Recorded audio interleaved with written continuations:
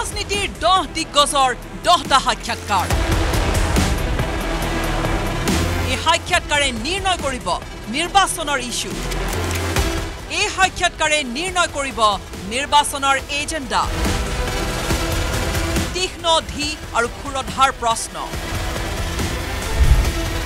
সমানেই ৰাজনীতিৰ দিক নিৰ্দেশক উত্তৰ।